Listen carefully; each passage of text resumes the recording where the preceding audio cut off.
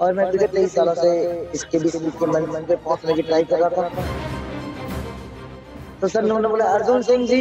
तो मैंने एक बार सोचा, किस तरह से मेरे को बुला रहा है तो हाँ जी। नहीं, बोला, अर्जुन सिंह जी। तो मैंने कहा, यार, मेरा नंबर आ गया। वो मोमेंट बहुत बड़ा प्राउड फील वाला था।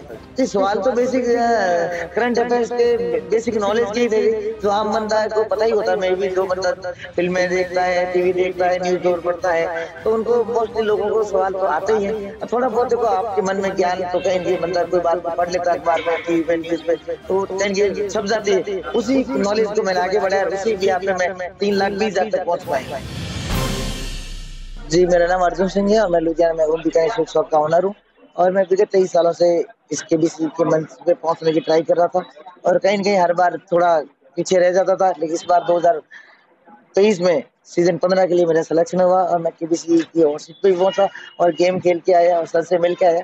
ये प्राउड मोमेंट जो है मेरे दिल में और दिमाग में हमेशा छाया रहेगा जी।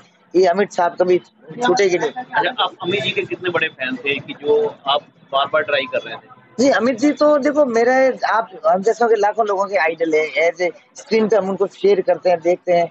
लेकिन मैं अपने आप को ऐसे समझता हूँ कि मेरा नाम भी अर्जुन एस है तो वो भी एस अमिताभ। है तो कहीं कहीं वही मन में कनेक्टिविटी वाली बात होती है कि नहीं यार इस बंदे से मिलना चाहिए ये बंदा मेरे नाम राशि है।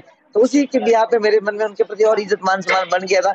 और मैं उनको फॉलो भी करता हूँ देखता भी हूँ, फ़िल्में भी देखता हूँ। और उसी की तरफ़ से मैंने केबीसी गेम शो स्टार्ट हुआ, तब मैंने मन में सोचा रहे इनसे मिलना चाहिए, इनके शो में जाना चाहिए। ट्राई भी की, पर कल इतना मौका नहीं मिला।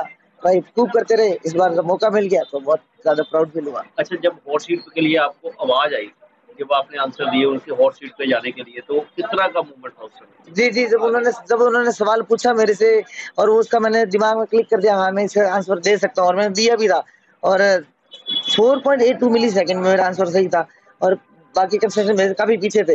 तो सर ने उन्होंने बोला, अर्जुन सिंह जी तो मैंने एक बार तो सोचा कि जैसे मेरे को बुला रहा है जैसे कोई हाँ जी, नहीं, बोला, अर्जुन सिंह जी तो मैंने कहा, यार, मेरा नंबर आ गया, और वो मोमेंट बहुत बड़ा प्राउड फील वाला था जी। अच्छा तो अगर बात करें क्या जो सवाल दिए, लखपति बन के आए, किस तरह के सवाल थे जी, सवाल तो बेसिक करंट अफेयर्स के बेसिक नॉलेज के ही थे जो। आम बंदा को पता ही होता है मे भी जो बंदा फ़िल्में देखता है टीवी देखता है न्यूज़ पेपर पढ़ता है तो उनको मोस्टली लोगों को सवाल तो आते ही हैं।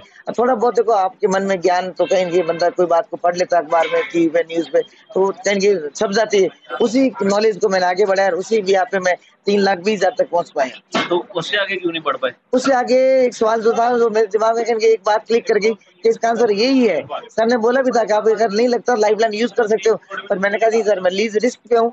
अगर मैं गलती हो गया तो कोई बात नहीं मैं हारूँगा नहीं ज़्यादा और मैं इस जो मेरी लाइफ लाइन आगे यूज़ करूँगा।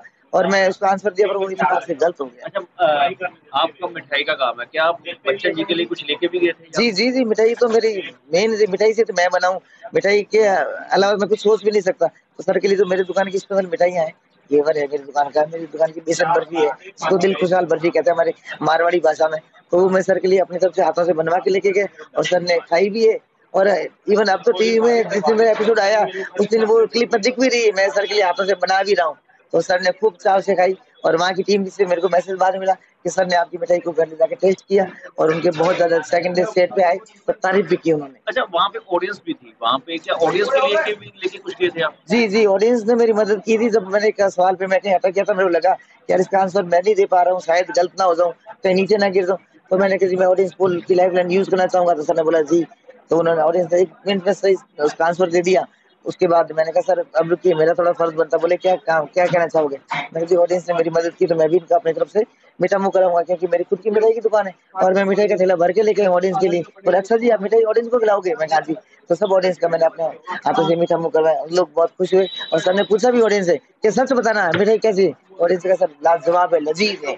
और वो सब लजीज वाला है ना तो दिमाग में आज भी पूछ रहे सर, कह रहे लजीज लजीज, बहुत अच्छा लगा जी। अच्छा तो अब जी के साथ जो मूवमेंट साझे किए तो दोबारा अगर मौका मिलता जाना चाहोगे? जी, देखो आप जो बंदा एक बार और सीट पहुँच गया, उसको तो उस नंबर से तो चांस नहीं मिलेगा, क्योंकि हमारा सारा बैड उनके पास चला गया आप खेल के आगे।